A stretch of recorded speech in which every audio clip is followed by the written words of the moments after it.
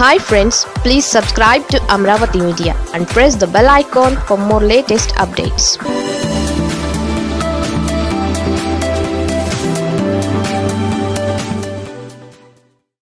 Chandrababu సన్నిహిత అధికారికి జగన్ కీలక పోస్టు ప్రభుత్వాలు మారగానే ప్రాధాన్యతలు మారిపోతున్న ఏపీలో మరో సంచలనం చోటు చేసుకుంది. చంద్రబాబు ప్రభుత్వ హయాంలో డీజీపీగా పనిచేసిన సీనియర్ ఐపీఎస్ అధికారి ఆర్పి ఠాకూర్ను వైసీపీ సర్కారు అధికారంలోకి రాగానే అప్రధాన్య శాఖలోకి మార్చింది. ప్రింటింగ్ అండ్ స్టేషనరీ విభాగం కమిషనర్గా ఏడాదిన్నరకు పైగా ఆ పోస్టులో ఉన్న ఠాకూర్ను తాజాగా జగన్ సర్కారు కరుణించింది. ఎట్టకేలకు ఆయన్ను కీలకమైన ఏపీఆర్టీసీ ఎండీగా నియమిస్తూ ప్రభుత్వం బుధవారం ఉత్తర్వులు జారీ చేసింది. ఒకప్పుడు పోలీస్ శాఖలో డీజీపీ ఏసీబీ చీఫ్తో పాటు పలు కీలక బాధ్యతలు నిర్వహించిన సీనియర్ ఐపీఎస్ అధికారి ఆర్పి ఠాకూర్ ప్రస్తుతం ప్రింటింగ్ అండ్ స్టేషనరీ విభాగంలో కమిషనర్గా ఉన్నారు.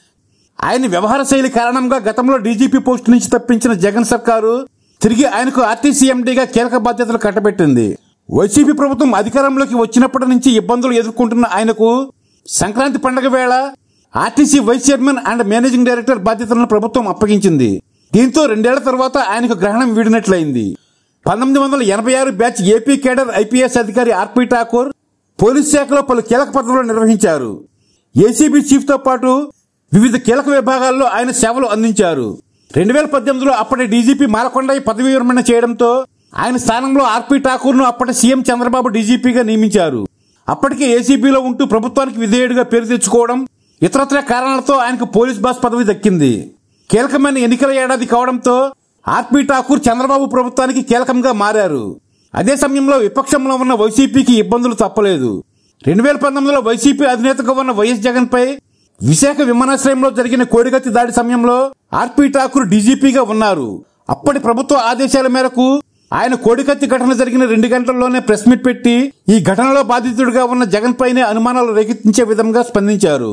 దీంతో ఆయనపై విమర్శలు తప్పలేదు.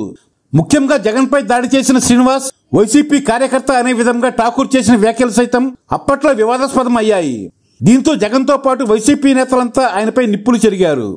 ఆ తర్వాత ఎన్నికల సందర్భంగా కూడా ఆర్పి ఠాకూర్పై వైసీపీ కన్నెర చేసింది. రెండు వేల పంతొమ్మిది ఎన్నికల్లో వైసీపీ ఘన విజయంతో అధికారంలోకి వచ్చిన సీఎం జగన్ వచ్చి రాగానే డీజీపీగా ఉన్న ఆర్పి ఠాకూర్పై వేటు వేశారు. ఏకంగా రాష్ట్రానికి పోలీస్ బాస్గా ఉన్న ఆయన తప్పించి ప్రింటింగ్ అండ్ స్టేషనరీ విభాగానికి కమిషనర్గా పంపారు. అప్పటి నుంచి ఇప్పటి వరకు ఆర్పి ఠాకూర్ అదే పోస్టులో ఉన్నారు.